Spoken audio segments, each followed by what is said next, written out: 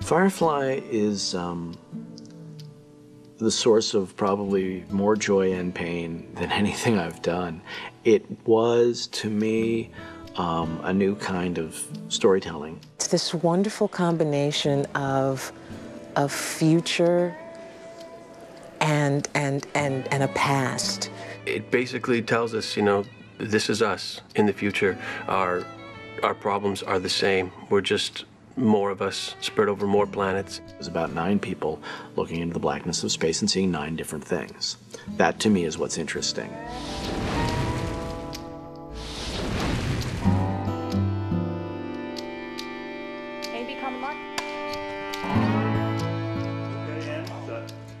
Action! When you have a Joss Whedon on, on your payroll, as the studio did, you know, obviously they were looking to try and get another project out of him. And so he, at, one of the early meetings, said to them, Well, I've got this idea that I've always played with of doing some, this sort of show. And they just were eager to get a show from him. So they said, Oh, yes, great, great, great, let's do it. So I wanted to get a show that took the past and the future and put them together by making them feel like the present, by making uh, a show with not only troubles that people could relate to, as opposed to aliens or bumpy foreheads or ambassadors or things that you know are not part of everyday life, but like getting a job, getting out of trouble, um, you know, stuff like that. That was very simple. Put it all in the present and give it a sort of "you are here" feel. I got to read the various uh, incarnations of the script, and boy, I thought that looked neat. Uh, it was a western, but it was in space, and there were horses, and there were guns, and there were cool people on a spaceship. When I delivered Serenity, the two-hour pilot, the network um, kind of got cold feet about it. Um, they felt, uh, you know, they didn't want uh, a long sort of story that took its time explaining who everybody was. They wanted to jump in the middle of the action. That was kind of the Fox dictum was, you're in the thick of it, let's go. The initial results, they, they made, made the network nervous. Um, that the men the men didn't respond as strongly as they thought they would, and that the women responded more strongly. They wanted a little more humor injected, and particularly in the character of the captain. The idea originally was that he was very closed off, and over the course of the pilot, we found out why. And then over the course of the series, we saw him, you know, we saw he was a decent man and we got to see him warm up. And they said, wow, we, we only have a certain amount of time to hook the viewers into a new property. We need to do it more quickly. They wanted to get in with some action, get in with some jokes, and come in right in the middle of an adventure but I had nine characters with, you know, very involved stories and a world nobody had seen before that was culled from all different cultures. So there was just a huge amount of visual and oral and character information for people to absorb in an hour. Rather than not making the show, we of course tried to work with them on that score. Tim and Joss were very eager to certainly please our partners because they're financing the show.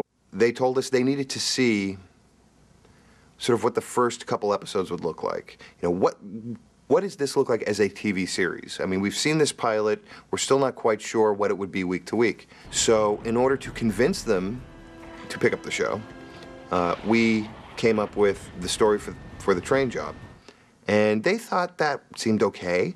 Uh, but really, what they wanted to see was a script, and they wanted to see it by Monday. So we had two days to write what was, in essence, going to be a new pilot. We scrambled to make the train job and explain everything in the second episode, which was then the pilot. And we still wanted them to air Serenity first because we felt no matter what, uh, this was such a complex new universe with so many characters that really you needed that Western two hour um, introduction to this world to really understand it. Uh, sadly, uh, the network did not agree, and they aired it later.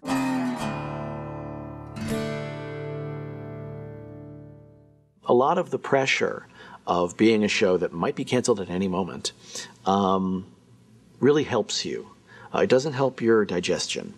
It doesn't help your marriage, but what it does help is um, your storytelling because you go back and you say, what is the most important thing I need to feel? What is the most primal story? What is the thing that is going to show how great this crew is? You know, how um, you know funny they are, how brave, how disjointed, whatever it is you need. What do I need? Get primal. They would break a story and you know come run to the set and be like, oh, this is gonna happen, that's gonna happen. And it was just like it was just these incredible you know, Joss and Tim, sort of their minds are just, you know, always going and going and going. And, and then we get the scripts, and it was just, I mean, they were like gold. We wouldn't get the first drafts. We'd only get the shooting draft, which is good. It protected us from whining, I guess, and saying, I like that other line. It was nice. I wanted to say that in Chinese. 你不顾噶，你慌枪。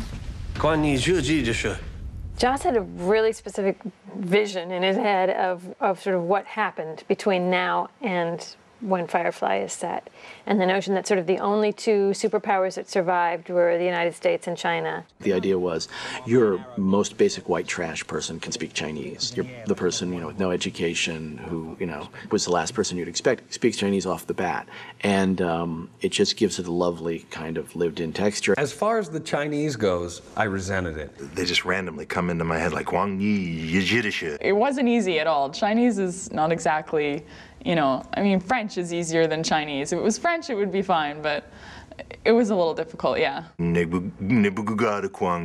I like to think we educated the world by teaching them a little bit of Mandarin. Tai Shu Kung Yo Du Shu Ching Chao The writers would be in their room, in their writing room, and they come up with really funny things to say if you knew what you were saying in English. We only did phrases that we didn't need to know what they meant. Like if he shouted, this way, we know he's saying, shut up.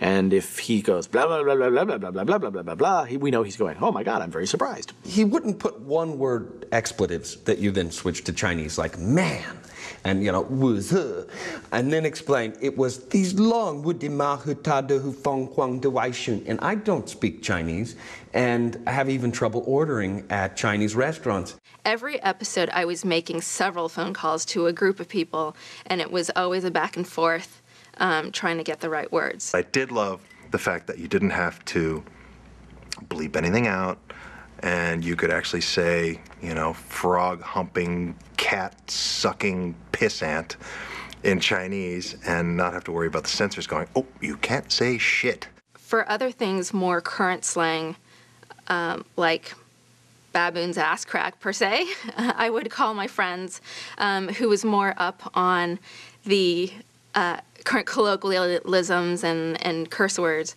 in China or Taiwan. We had cassette tapes that we were to listen to to get the sound of it right, and most of the time, none of us got the sound of it right anyway. I would sort of hear what it was supposed to sound like, and then I'd hear the actor say it. Oh, right. And I bet there are a lot of people in China going, what the hell are they saying? we wanted a, a, a multi-racial sort of mix of people because our, our statement was in the future, you know, there's two superpowers and everybody's mixed. That's why the way people dress are, are mixed, and he wanted to, to have that reflected in these people coming together. My very original concept was a little smaller. Uh, I had like five characters. And then when I sort of said, okay, Millennium Falcon, yes, Stagecoach, better, um, I realized, you know, I'm going to be living on this boat. And, and, and a lesson I learned from Angel is you really need an ensemble, and especially because I thought of this as more of a drama than an action drama when I first conceived it. When I actually got down to making it, I decided to go from five to nine. When each one of those characters plays ultimately a very important role in the show, it, you know, it really was incumbent up, upon Joss and, and, the casting team to, to find some great actors, and I, and I think we did. What I said to Joss in our first meeting was, I'm so not this guy. He's tortured, he's bitter, he's hollow, he's, he has no hope, he's, he's, there's nothing you know, lively and wonderful, exploding within this man. I kept telling him, I'm not this guy. I'm, I'm really not this tortured soul. Ultimately, eight of the nine original cast members stuck. Uh, the one that didn't being Rebecca Gayheart, who was the last role cast, the part of Inara.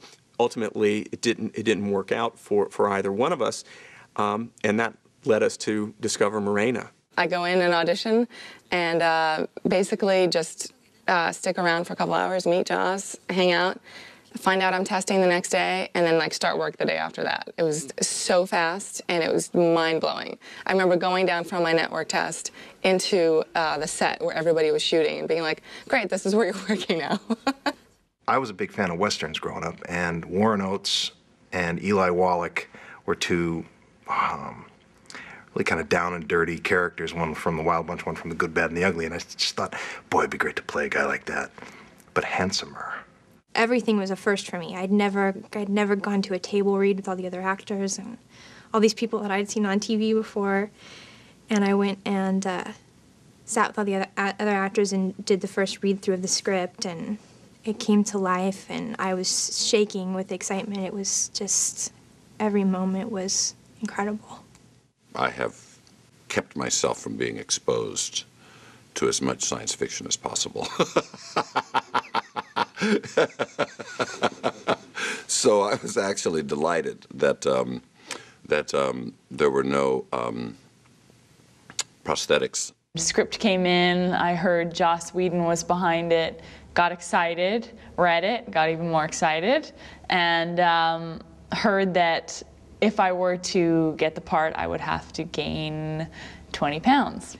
He wanted Kaylee to look like a woman. He didn't want any sort of anorexic looking, you know, young actress uh, type girl that everybody's so used to seeing on TV. He wanted somebody that looked like they enjoyed a cheeseburger once in a while and uh, really embellished in life.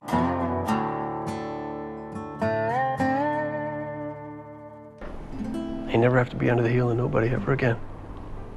No matter how long the arm of the alliance might get, we'll just get ourselves a little further. Malcolm Reynolds represented someone who, although had lost all his hope, would not give up, just would press on. He didn't have any grand dreams. He didn't have any grand causes or goals. All he wanted to do was continue. He wasn't going to shut down and die. He was just going to continue living his life. Do you want me to put it up? No, that's okay. I think Inara brought to that world, to the, the life of, of these people on the ship, uh, the heart and sort of like a nurturing quality. I think that she um, is an extremely passionate person, and she cared very, very much for every single person on that ship. Shouldn't be a problem at all. My strongest understanding of Wash came through my relationship with Zoe, or Gina, with my wife. That was where I had the most understanding. I think it was an interesting relationship. She was this solid fighter woman, and I was a chicken. I didn't, I didn't like fighting. I wasn't in the war. I wore Hawaiian shirts all the time. I just, I loved Gina, and we had a great rapport. And the, stuff that was written for us, this kind of struggle, the struggling marriage, uh, made sense to me. Captain shouldn't be babysitting a damn groupie, and he knows it. Okay, when did this become not funny? When you didn't turn around and put her ass back down on Triumph. She's the resident, like, hard ass chick. She's the one. She gets the job done. She enjoys her job. She is career military. She has no problem with killing people if it's right. And because she is career military, I mean, you really won't hear her um, argue with or oppose Mal too often unless she she really thinks there's something wrong. Where do you think you're going? Zoe's been badly hurt. I need my medical supplies. Simon had a lot technically to do on the show in terms of, you know, wounds and bullet holes and you know, lots of fun-filled infirmary bloody stuff. She's the, the wayward child of the group. She understands. She doesn't comprehend. And I think that she's a purpose for them too. They had to make decisions that they wouldn't normally wait, make on her behalf, you know, having to try to help her, save her. There's no beacon. Which means it's likely no one's looking to find her. All the more reason for us to do the right thing. I think Book was kind of the the conscience of the ship. In any kind of situation, he could be inserted as the conscience, uh, both from his own point of view and also um, from the perspective of being able to require other people to be aware of dealing with where their consciences are coming from. Care to make the first incision, Dr. Tam? Happy birthday, Simon. Kaylee brings the sense of family. She makes sure that everybody remembers that they really are one big family and all they have is each other. Don't know these folks. Don't much care to. They're horse. I'm in. Sex, muscle, humor, thuggery. Jayne. Pretty cunning, don't you think?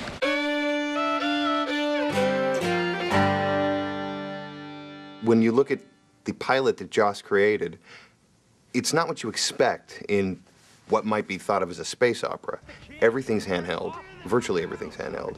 There are zooms, like in a 70s Western, there are actually zooms in a shot. And nowadays, people don't use zooms so much as sort of dolly moves, or, I mean, zooms are considered to be somewhat cheesy. And uh, that cheese aspect actually really added, I think, to the look of the show. If, if you got a flare, if you bumped into something sometimes, if you misframed, they almost liked it better. And a lot of times it was, don't hold a perfect frame. Be, be a little bit off. Make it a little different. All of a sudden you find something that wasn't, you weren't expecting and continue shooting. And that includes the CGI shots we did and everything, just sort of haphazard and embracing the zoom lens and and not covering things in a normal television fashion, um, all designed to uh, to sort of give you that feeling of well, this is just something that's happening and you're there in the thick of it, as opposed to science fiction, which says stand back, for this is a forbidden planet. You know, I didn't want to, you know, I didn't want to be stately at all. I really just wanted to have that immediacy. We got very excited because we wanted to bring that into the photography of, you know, live action spaceships. You know, we wanted to have handheld camera, whip pans, lens flares, rack focuses, and zooms, all of which have been complete taboos in visual effects. They're things that you don't do because you can't repair them. You know, we as a group said, okay, there's gonna there's certain risks that we're gonna be taking here, and some some techniques are gonna work, some are not. You know, and whatever happens, happens, and we're just gonna have to compensate and make it work.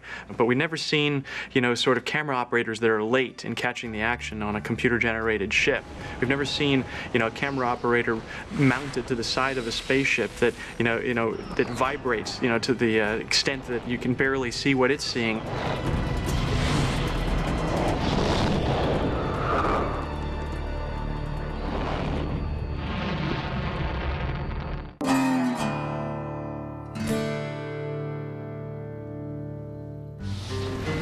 Take my love, take my land, take me where I cannot stand. I have friends that still sing the theme song. I the theme song just gets in your gets under your skin, and I I love it. That that song, every word in it is very deliberate, and uh, is it tells the story of exactly who Mal is from the get-go. We had Greg Edmonson on it on the show, and and um, he got more than anybody, uh, and it's a hard thing to get the idea of using a kind of Western vernacular and then mixing it with world music, and you know a Chinese influence as well, and um, uh, and at the same time servicing a normal TV score, so that you know the, here's the sad moment, here's the happy moment, without being intrusive. And there are things he did for that show that went way beyond just telling the story or expressing the mood of a certain scene. He went way beyond that. He was really telling a story too.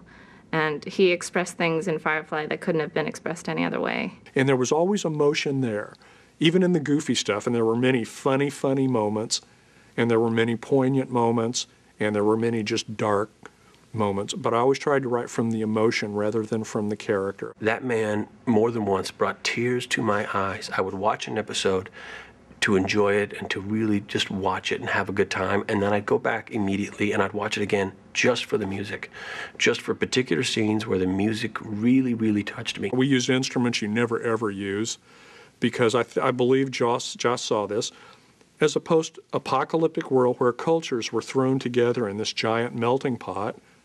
Therefore, anything that you could use somehow was justified.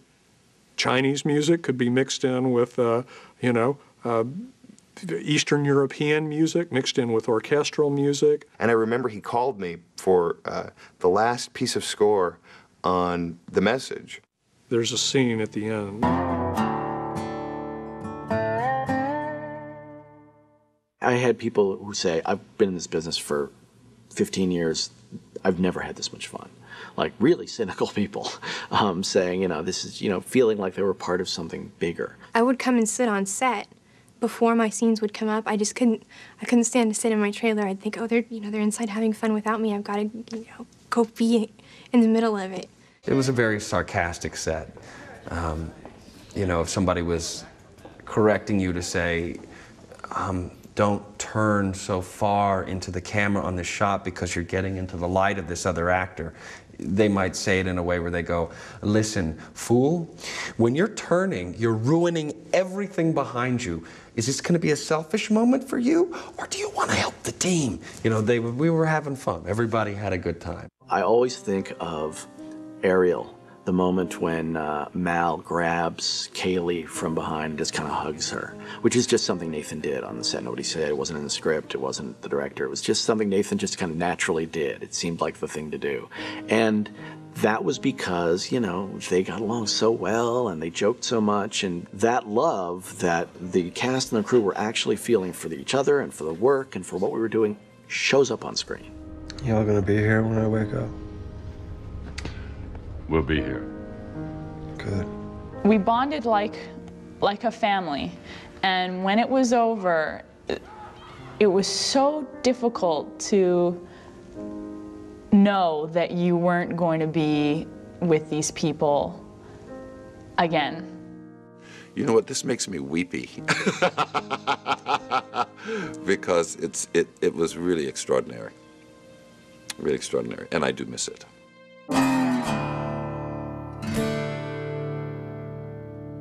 The cross section of and intelligence of people who are fans of Firefly have just uh, really broadened my my horizons.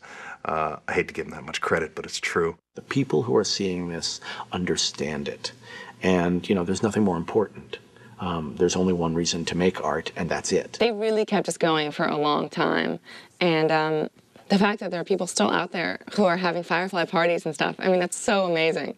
That's so humbling to think about. And um, we were really very, very appreciative of it. It's flattering and it's humbling. And uh,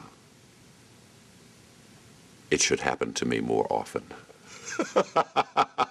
what the fan reaction did was um, really keep us on our feet. Uh, when, you know, I mean, it was a very difficult year. Obviously, you know, this is not a complete season of television we're talking about. Uh, and that means the C word, as in cancel. And the fan base understood that very early on that we were, we were in trouble.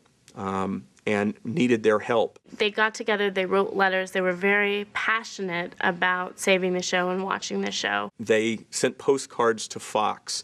They sent postcards to the sponsors. They took out a full page ad thanking Fox and thanking uh, the advertisers for supporting Firefly and did it in an incredibly organized fashion. I mean, they raised thousands of dollars for that. They also have raised thousands of dollars for several charities um, in the name of Firefly. To know that the fans were becoming as obsessive about the show as we were that quickly um, was really just gratifying. And, and uh, you, you know, it's easy to discount something like that. But in our situation, it wasn't because, you know, if we had gone on the boards and found, you know, a sort of lackluster response or even just, well, oh, that's very nice, at some point we would have given up. We would have stopped fighting.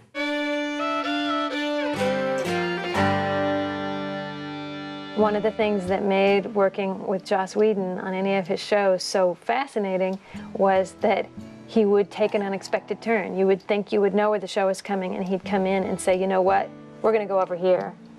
And I know he would have done that on Firefly, and it would have ended up in places that none of us, including him, could have anticipated. Simon would have finally kissed Kaylee, I think.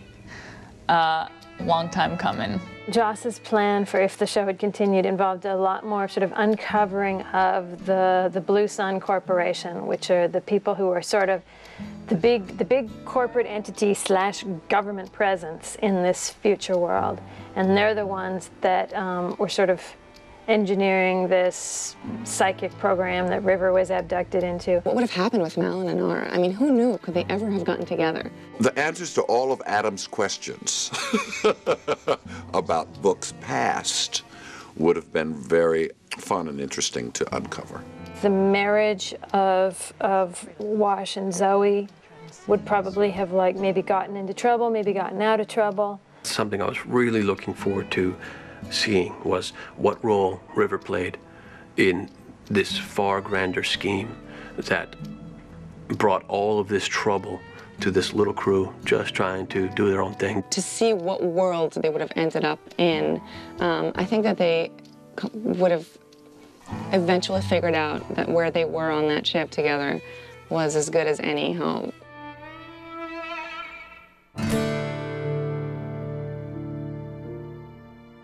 The sort of shows that, that, that shine briefly, you know, the shows that have a very short run, but that everybody kind of goes, oh, that was something special. That was Firefly. The show didn't go far enough for me to tell uh, the secrets that were contained within, um, but that's something I still hope to do at a later date um, in another venue. So um, I feel like whatever I didn't get to accomplish, uh, I will in terms of narrative. In terms of what I wanted the show to be, I felt like we accomplished it from the first frame. I look forward to the day and time that recollections of my Firefly experience um, doesn't make me cry. I really look forward to that day. there was something that Adam Baldwin actually said uh, on the last day when we were wrapping everything out. And uh, he said, Look, I've been doing this for a while, and the thing that I really appreciate about this particular job is that we all seem to understand how good it is, and we're all appreciating it today as opposed to later. And, um, and that, that was really true. People got it while it was happening. Firefly will forever represent for me, I think, uh, just the best of all worlds as far as uh, being a, a, pleasant place to work, enjoying the stories I was telling, enjoying the dialogue, enjoying the character and the cast and the crew. I had a very positive experience on Firefly, and forever for me it will be the best job I've ever had. The best job I've ever had. My fantasy about this is that um, they'll make a feature and it'll be successful and then someone will come to Joss and say, Why don't we make a television series out of Firefly? We made something that I consider extraordinary um, and that I am as proud of as anything I've done. It really was a jewel, just something that uh, when I think back on it, it shines. I can't think of anything else to say besides that.